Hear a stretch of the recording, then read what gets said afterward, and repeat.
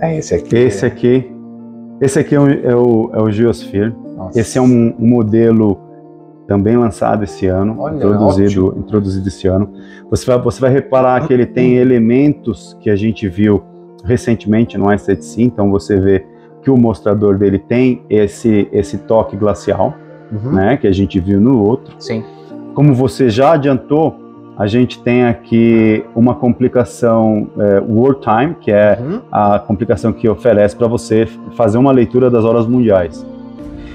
Nesse relógio em particular, a gente divide o World Time em dois pontos, o hemisfério norte e o hemisfério sul. E aí você tem as duas éguas de dia e noite em cada hemisfério. Nesse caso aqui, por exemplo, a gente tem o relógio apontando a hora de 10 e 10 e no Brasil a gente está marcando 8 horas da manhã. Como é que você sabe que são 8 horas da manhã e não 8 horas da noite? Porque a gente tem a régua noturna em escuro aqui. Ó, E o tá. mapa Tá.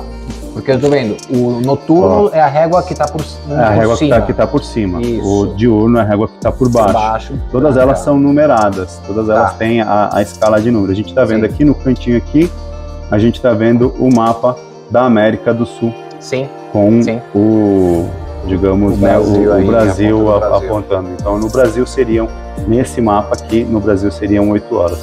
O interessante também, pode me corrigir, Cris, se eu estiver equivocado, é que o hemisfério norte ele está girando, Cada um gira num sentido. se- né, exatamente, é. E é essa, bastante diferente. eu confesso que essa é uma das minhas complicações favoritas, porque geralmente as complicações elas são, elas são paradas, elas são estacionadas, né? Quero dizer, um cronógrafo você só vai ver a sua função se você o acionar. A fase da Lua você só vai ver a sua função quando a Lua mudar. Essa complicação ela é animada, ou seja, durante o dia você vai ter um mostrador com uma, uma estética, uma aparência diferente ao longo do dia. Então, às 8 horas da manhã, o seu mostrador, né, às 10 horas da manhã, o seu mostrador vai ser assim, mas ó, a gente girando, ó, a gente já está vendo aqui, olha, os globos girarem também. E é dessa forma que você vai ter o seu mostrador.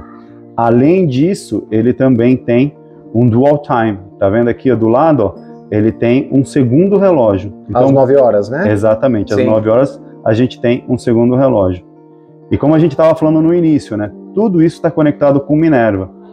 Porque ele é um relógio inspirado, né? O formato da caixa inspirado nas caixas militares daquela década de 30, né? O período, período entre guerras, né? Mas também a gente tem aqui o logo da Montblanc daquela época. Se você reparar, o logo da Montblanc aqui não é aquela estrela conhecida. Ele é a escrita e um monte desenhado, porque era assim que o logo da Montblanc era usado naquela época. Sensacional. Sensacional. Aqui a gente também tem, né, o, a pulseira com ajuste. Isso ajuste é sensacional. É. Fantástico. Você isso. tem aqui, ó, Muito fácil. um ah, ajuste fino, pegar isso. né, ó. Você tem também uma pulseira intercambiável. Agora, você está preparado para ver o fundo desse relógio? Eu já Olha ia só. perguntar. Nossa! Esse é a parte traseira do relógio. Tem muita gente que fala assim, gente, mas por que não faz na frente para todo mundo ver? Porque essa aqui é uma beleza que só o dono saberá que existe. Tem um tom azulado Tem um baixo, tom mas não, é azulado. sutil. É, É sutil. sutil. Ele só aparece Exato. de vez em ele, quando. ele, né? é, ele é uma técnica feita Nossa. laser que por enquanto só a Montblanc domina, mas nenhuma outra, nenhuma outra marca domina essa técnica. Aqui atrás a gente tem as montanhas mais altas do mundo escritas aqui. E se você reparar, esse relógio ele tem um efeito azulado também, certo? Por quê? Esse é um relógio zero oxigênio. O que, que é isso? Como assim? Existem vários relógios para você ir até o fundo do mar, certo? Sim. Mas não havia ainda um relógio capaz de suportar a altitude. Ah. Então, quando você faz uma escalada aos picos mais altos, que são os picos de 8 mil metros, Uhum. qualquer máquina, qualquer é, elemento, ele sofrerá a ação da altitude, Sim. que é o que? Condensamento do, do, do, né, da, a- o próprio oxigênio, ele vai condensar, ele vai criar umidade e ele vai oxidar o mecanismo, ele vai fazer aquele efeito embaçado, digamos. Exato. Caramba. Isso porque dentro da caixa tem oxigênio. Claro. Então, o que que a Montblanc faz? Ela remove o oxigênio de dentro da caixa e sela ela.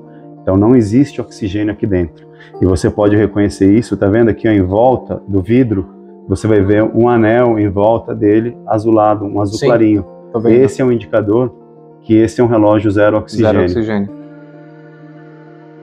Que é uma grande homenagem nossa aos maiores alpinistas do mundo, né? Então a gente faz uma homenagem aos dois maiores que trabalham conosco, são nossos parceiros, Sim. né? Que é o Nins da Ipurja Sim. e o Reynold Messner. Reynold Messner foi o primeiro cara a subir todos os 14 picos acima de 8 mil metros. E ele Nossa. fez isso numa época em que não havia tecnologia e ele não usou o oxigênio suplementar. Ele subiu com o pulmão. Exato. Deus. Mas depois nós temos quem fez isso em mais, é, é, quem fez isso em menor Meu tempo, que é o da Ipurja. Inclusive tem um Eu vi um documentário, documentário, documentário dele. Netflix. Muito Exato. bom, cara. Muito O bom. documentário dele é, mostra ele escalando os 14 picos. E se você reparar aqui no globo, nós temos os 14 picos É mesmo? em laranja. Fantástico. E Fantástico. o laranja que é a cor do alpinismo, né? O laranja ele é, ele é a cor símbolo do alpinismo para poder ser localizado e resgatado. Agora, você viu o tamanho desse relógio, né? Por favor, pega ele. Nossa. Muito mais leve que o Ice Glacier. Olha. Porque ele, Ah. é, ele é todo feito em titânio. É relógio com ó, relógio de 42 milímetros com pulseira de metal, mas ele é extremamente leve. Porque, Muito leve. Muito como, leve. como diz Reynold Messner, quando você está escalando o Everest, acredita em mim, cada grama conta. Imagina. Sensacional. Não, que ferramenta isso aqui. Uma ferramenta completa. Não é? Completíssima. Sensacional. Que, que linda peça. Posso perguntar o, o- qual seria o Esse, esse é um relógio de 50 mil. Ah, 50.200. Tá. Menos do Esse que é, um, esse é um relógio de 50 mil. É um sim. movimento, é uma, é uma, uma complicação in-house da Montblanc, então Não, Você não vai encontrar esse World Time em Não. nenhum outro relógio. Não existe outra marca Não. fazendo esse tipo de trabalho. não mesmo. E Então- com- em comparação de valores, outros old timers que tem no mercado, a esse valor, você está falando 10 mil dólares? Não tem, cara. Não tem. Nossa, sensacional. Com uma pulseira intercambiável, É. com um ajuste fino, com uma decoração no fundo da caixa, com um mostrador texturizado, É. extremamente artesanal, é muito difícil realmente você encontrar essas qualidades em outra em outro modelo. Não, é realmente o conhecimento necessário para desenvolver e executar essa peça, realmente eu acho que tem poucas, poucas casas que conseguem fazer isso. Sensacional. Você gosta de cronógrafo Minerva? Gosto. O que, que você tem aí? Esse é um cronógrafo Minerva verdadeiro daquela época. E ele funciona, tá? Ele não. Você consegue reparar as semelhanças dele com o Star Legacy que a gente viu? Sim, sim. Né? Olha a coroa, A coroa, o formato, o da formato caixa, a- né? o arre- arredondamento da caixa Exato. inferior. O logo Minerva, olha o logo Montblanc. Então quando a gente olha aqui, olha, ele ainda funciona perfeitamente. Então é disso que a gente está falando, manter isso vivo. É. Que linda peça. essa, essa habilidade, essa, essa essência. Você encontra esses mesmos princípios em todos os nossos relógios. Sensacional.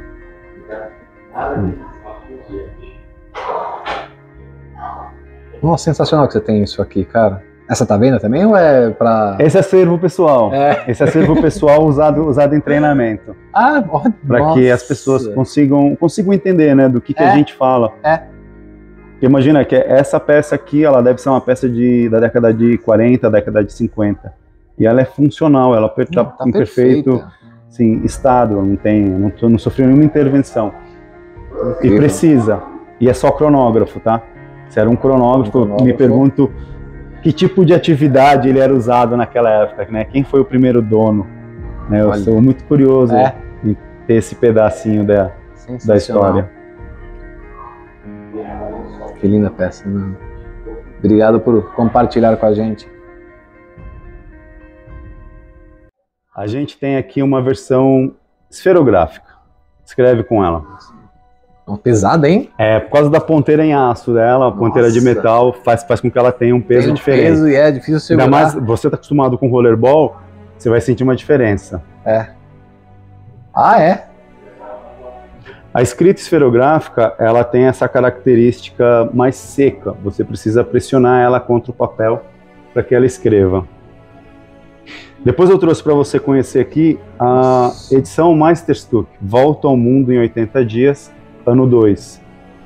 Então a gente já contou essa tá parte dessa linda, história, né? Uma história fantástica. Já leu o livro de Júlio Verne, Nossa, muito tempo né? atrás, Mas é. deve ter visto inúmeros filmes. Sim. A Volta ao Mundo em 80 Dias é uma, uma aventura Sim. né, que muitas pessoas até achavam que era verdade, porque Júlio Verne costumava escrever somente ficção científica, e aquele livro é um relato tão preciso Hum. de nomes de trens, nomes de navios, é, horários de embarque e desembarque dos, dos navios, que muitas pessoas acreditavam que aquela, aquela história de fato aconteceu, Aham. e várias pessoas tentaram também repetir a jornada. Interessante. É, é uma história que faz a gente pensar muito a respeito. É um livro muito genial que eu até aconselho a gente ler várias vezes na vida, Boa. porque você vai ter entendimento diferente. Sim. Muitas pessoas, por exemplo, quando eu pergunto qual é o personagem principal do livro Volta ao Mundo em 80 Dias, tem gente que diz que é, é Phileas Fogg, né, que é o, é o britânico, tem gente Sim. que diz que é o Passepartout, que é o mordomo dele, tem gente que diz que é a princesa Oda que eles encontram na viagem, mas o personagem principal daquele filme, daquele livro, é o tempo. Porque o tempo ele está presente em toda a narrativa do livro, em toda a história, em todos os capítulos. E dando um spoiler, né? Ao final do livro, ele acredita que ele perdeu a aposta. Quando ele chega ao final, ele acha que ele perdeu, porque ele acaba sendo preso, confundido com um ladrão de banco. Ele acha que ele tinha perdido a aposta. No entanto, quando ele dá a volta ao mundo, ele dá a volta ao mundo no sentido contrário à rotação da Terra. Então ele ganhou um dia nessa volta. E aí, ao final das contas, ele na verdade ele ganhou, ele chegou a tempo. Chegou a- Então, quando a gente pensa que o tempo é o nosso adversário, é o nosso Hum. inimigo, na verdade o tempo é o seu aliado. Isso a gente começa a acreditar quando os cabelos começam a ficar brancos. Mas aqui nessa parte é a parte que a gente conta entre é, Bombaim e Hong Kong, esse trecho da viagem, né, Tá. onde ele encontra a princesa Oda. Sim. Nessa parte da viagem, ele tem que descer de um trem, porque a- o trilho, a ferrovia não havia sido completada. Ele tem que descer e ele se vê numa situação inesperada de ter que seguir viagem e não ter meios de locomoção. E eis que eles vão e eles é, compram né, um elefante, o elefante Aoni, e eles terminam a, a esse trecho, esse trajeto. Ah, o Não, o elefante aí. elefante ele está aqui retratado também. É. Então a gente tem os elementos da aposta, né? A gente tem o elefante, a gente tem os elementos da aposta, Ah, a gente tem os 80 dias, tá. né? É, numa peça também esferográfica. É uma Meisterstück clássica, se você reparar assim, Nossa, né? linda, ela linda, parece linda. tradicional, mas ela tem alguns segredos. Essa é uma esferográfica também. Sensacional. E todos os detalhes aqui que eu tô vendo são em ouro, né? Esses É, são é- revestidos de ouro. revestidos de ouro. é.